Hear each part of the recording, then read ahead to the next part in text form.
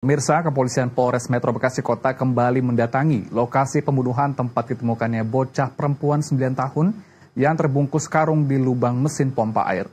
Polisi memastikan tidak ada korban lain yang dibunuh pelaku.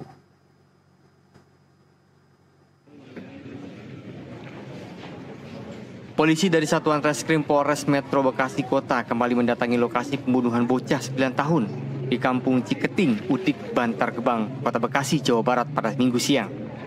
Petugas sempat mencurigai ada korban lain dan membongkar coran semen baru yang berada di dalam rumah pelaku. Namun setelah digali, polisi tidak menemukan tanda adanya jenazah lain. Pelaku DS 60 tahun sudah berhasil diamankan polisi untuk proses penyelidikan mendalam dan mengetahui motif pembunuhan.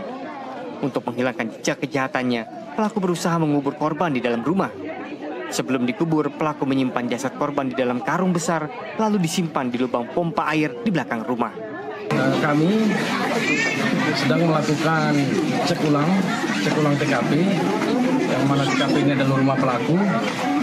Dari hasil pengamatan, uh, diduga ada satu titik yang kami lihat secara fisik itu ada lokasi tempat uh, semen yang masih baru. Maka di satu titik lokasi tersebut sudah kami lakukan penggalian uh, sedalam hampir satu meter, namun tidak ditemukan adanya korban lain lainnya lagi. Sebelumnya seorang bocah perempuan 9 tahun dikabarkan hilang dan saat ditemukan sudah dalam kondisi tidak bernyawa. Korban dibunuh oleh tetangganya sendiri yang hanya berjarak 100 meter dari rumah korban. Hingga saat ini kasusnya masih dalam penyelidikan Polsek Bantar dan Polres Metro Bekasi Kota. Dari Bekasi, Jawa Barat, Rafael Pari, jurnalis NTV, melaporkan.